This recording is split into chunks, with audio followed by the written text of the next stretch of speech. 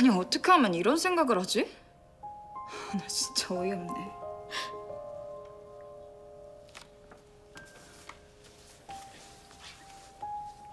민주야, 너 내가 덜 무섭구나.